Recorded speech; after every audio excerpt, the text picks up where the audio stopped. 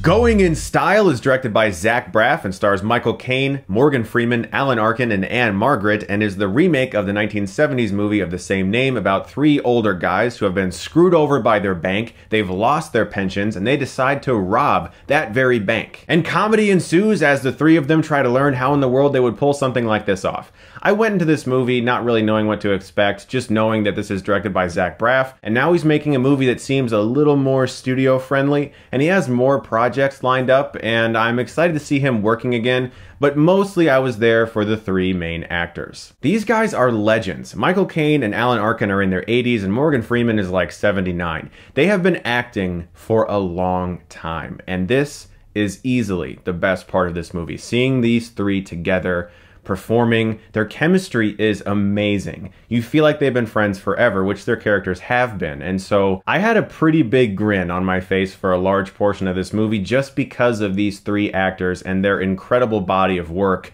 and the fact that all three of them are together. They all show themselves to have a really good sense for comedy, and I found myself smiling throughout a large portion of the movie. It also has two pretty good small minor supporting roles from Kenan, who I grew up watching Kenan and Kel, and Christopher Lloyd in a role in which I haven't seen him this funny in quite some time. He plays basically the worst case of Alzheimer's you could have, and uh, he really sold it. He was actually really great. I think the funniest scene in the film was the first time they tried to steal something because they figure we're not going to go big at first. We're going to try to do something small scale. So they go to a supermarket and try to steal some food to make dinner.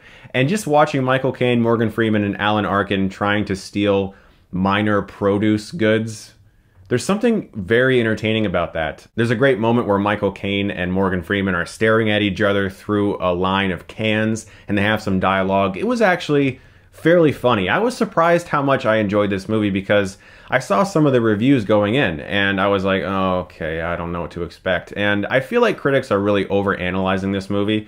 This is a film made for the 60 to 80 demographic to go to the theater and smile for 96 minutes and forget about their troubles and just have some lighthearted, soft, easygoing fun.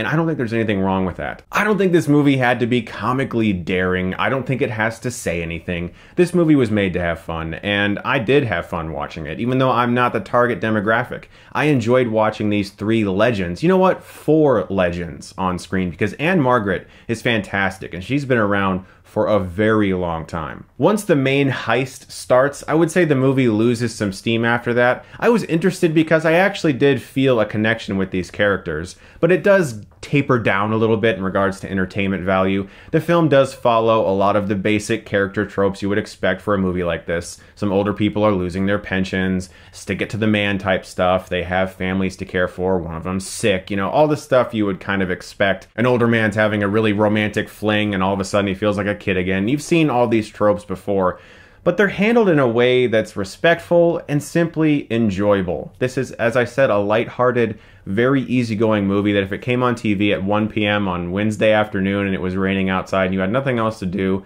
I could see this film entertaining you. Also, I just want to say, after I saw this movie, I was thinking to myself, it's kind of hilarious. This is like the third in the unofficial Morgan Freeman is old, let's do some fun shit trilogy. The Bucket List, Last Vegas, and now Going in Style he's like he's made his own unofficial trilogy of I'm dying.